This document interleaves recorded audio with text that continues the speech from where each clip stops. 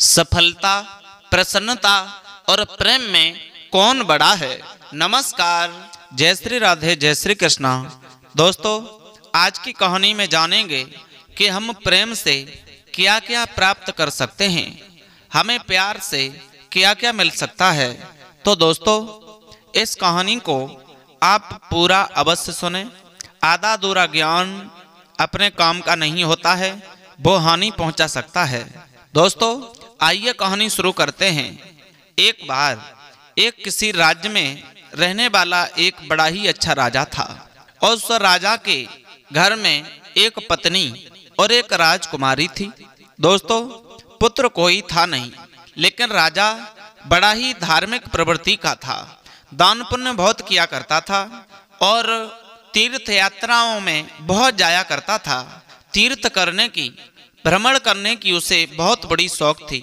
दोस्तों, जिस वक्त एक दिन उस राजा ने विचार बनाया, अपने मंत्री को पास में बुलाया और मंत्री से कहा, मंत्री, आज हमारा विचार ये होता है कि हम कहीं तीर्थ यात्रा में जाकर के भ्रमण करें, घूम के आए।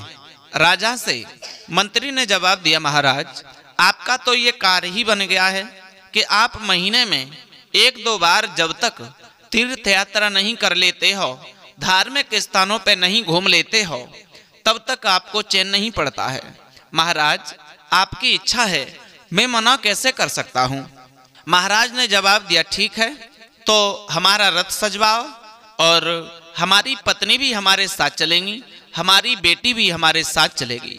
दोस्तों, आज उसने अपने परिवार को साथ में लिया है और जब भ्रमण करने के लिए तीर्थ यात्राओं पर निकल पड़ा, अपने घर पे कुछ जगह पे ताला लगवा दिया और अपने सिपाहियों को वहाँ अंदर घर में उस महल में रख दिया, जवाब दिया, कोई भी बाहर मत निकलना, अंदर ही रहना।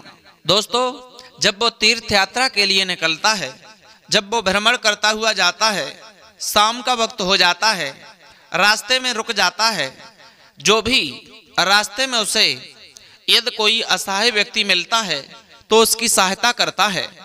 यदि कोई निर्वस्त्र व्यक्ति मिलता है तो उसे वस्त्र दिलवाता है। यहाँ तक ही नहीं, बल्कि हर दीन गरीब की वो राजा सहायता करता था, जिस तरह से अपने राज्य में प्रजा की देखभाल करता था, ठीक उसी तरह रास्ते में जा जा करके जो भी व्यक्ति मिलता है, जो भी असहाय मिलता है, उसकी सहायता करता है, गरीबों को दान पुण्य लुटाता है। दोस्तों धीरे धीरे चलते हुए जब महाराज, महारानी, उनकी बेटी राजकुमारी और वो मंत्री जा रहे थे, दोस्तों, एक जगह पे जाकर के उस राजा ने एक यज्ञ किया। यज्ञ करने के बाद वहाँ से और आगे बढ़े तो कुछ भंडारा किया। भंडारा करने के बाद जब लगभग एक महीना बीत गया, महाराज को भ्रमण करते, तीर्थ यात्रा करते करते उसके बाद विचार बनाया, अब तो हमें घर पे चलना चाहिए, राज्य की भी देखभाल करनी चाहिए। कोई हमारे प्रजा में दुखी तो नहीं है, हम यहाँ लगे हुए हैं, उधर यदि कोई पीड़ित होगा, कोई दुखी होगा तो ये अच्छी बात नहीं है। दोस्तों, उसी वक्त वो राजा जब चल करके वहाँ से अपने घर की ओर आता है, और जब घर की ओर आता है तो राजा ने क्या देखा? जो घर का दरवाज़ा था, वो बंद था। उस राजा ने ही बंद किया था। लेकिन उस दरवाजे के पास कुछ नहीं रखा था। लेकिन वहाँ तीन मूर्तियाँ न जाने कहाँ से आ गईं। और वो तीन मूर्तियों को देख करके महाराज अचम्भे में पड़ गए। सोचने लगे, ये मूर्तियाँ कहाँ से आई हैं? अब तो राजा मंत्री के द्वारा घर के दरवाजे को खोलना चाहा। ताला जो लगा हुआ था, उस ताले को जब चाबी डाल करके खोला, लेकिन वो ताला चाबी डालने के बाद नहीं खुला। दोस्तों, जिस वक्त वो ताला नहीं खुला तो अब तो राजा बड़े चक्कर में पड़ गए। बात क्या है? ये हो क्या गया? चाबी तो वही है, लेकिन ये दरवाज़ा खुल क्यों नहीं रहा? ये ताला क्यों नहीं खुल रहा? दोस्तों, इस तरह से जब सोच रहा था तो मंत्री ने जवाब दिया, महाराज ये मूर्तियाँ कहाँ से आ गईं? मूर्तियों के सामने पहुँचे।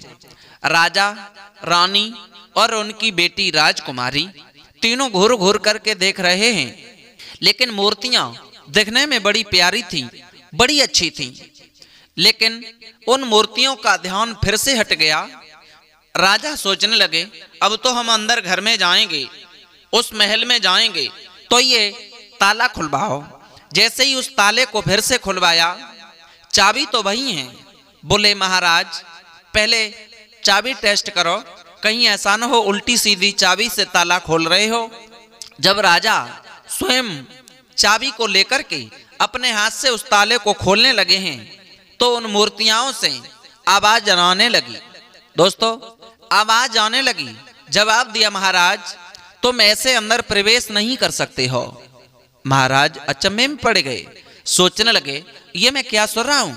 फिर से आवाज़ आई, महाराज, जब ताला खोलने लगे तो आवाज़ आई, महाराज, ये भूल मत करो, तुम पहले प्रवेश नहीं कर सकते हो। यदि प्रवेश करना चाहते हो तो पहले हम तीनों में से एक को तुम्हें अपने साथ अंदर घर में प्रवेश करना पड़ेगा, तब आप अंदर जा सकते हो। दोस्तों, जैसे ही इस बात को सुनते हैं, महारानी और राजकुमारी दोनों उन मूर्तियों के करीब खड़े थे और वो देख करके अचंभे में पड़ गए। सोचने लगे भा इन मूर्तियों से आवाज़ आ रही है। महाराज को बताया तो महाराज चलकर आए, उन मूर्तियों के पास जवाब दिया, क्या कह रही थी तुम अभी? तीनों में से एक को अंदर ले जाओगे? तो तुम अंदर इस महल में प्रवेश कर सकते हो। तो आप हो कौन? जवाब दिया महाराज ने तीनों मूर्तियों से कि तुम हो कौन, जो हमसे इस तरह से बातें कर रही हो। उसी वक्त उन तीनों मूर्तियों ने जवाब दिया, हमारा एक का नाम है सफलता, दूसरी का नाम है प्रसन्नता, और तीसरी का नाम है प्रेम। अब तुम, हम तीनों में से किसे अंदर ले जाओगे?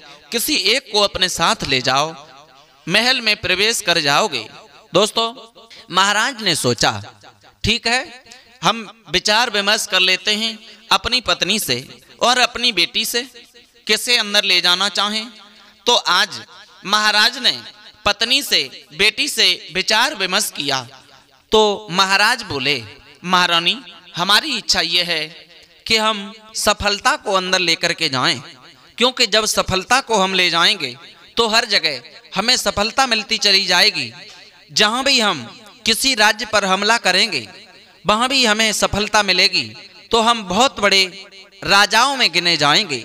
दोस्तों, ऐसी बात सुनकर के महारानी ने जवाब दिया, महाराज, आप कह रहे हो कि हम सफलता को साथ ले जाएँगे। जहाँ सफलता होती है, वहीं प्रसन्नता होती है। लेकिन नहीं कहीं कहीं ऐसा भी हो जाता है कि कहीं सफलता के साथ दुख और मुसीबत भी मिल जाते हैं। तो इसलिए मेरी तो इच्छा यह है कि हम प्रसन्नता को साथ लेकर जाएँ, गृह में प्रवेश करें तो अच्छा होगा। दोस्तों, आज उन राजा और रानी में विवाद सा होने लगा। महाराज कहते हैं, मैं सफलता को लेकर जाएँगे। महारानी कहती हैं, हमारी इच्छा है कि आप प्रसन्नता को लेकर के जाओ। जब प्रसन्नता होगी हमारे जीवन में तो सब कुछ अच्छा ही होगा। दोस्तों, उन दोनों के विवाद के बीच में राजा ने कहा, महारानी अपने साथ अपनी बेटी है, राजकुमारी है, उससे भी पूछ लिया जाए, हम अंदर किसे लेकर जाएँ? राजकुमारी से कहा, बेटी, तुम किसे अंदर ले जाना चाहोगी, जो महल में हम प्रवेश कर सकें, इन तीनों मूर्तियों में से आप किसे पसंद करती हो? तब उस राजकुमारी ने जवाब दिया, महाराज, पिताजी, मेरी तो इच्छा यह है, आप कह रहे हो कि सफलता को लेकर जाएँ।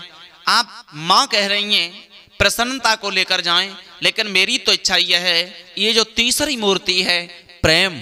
हम उस प्रेम को अंदर लेकर जाएँ तो अच्छा होगा। बोले वो क्यों? तब समझाया, उस राजकुमारी ने, महाराज, जहाँ प्रेम होता है, वहाँ पर सफलता और प्रसन्नता तो दौड़ी दौड़ी स्वयं चली ही आती हैं।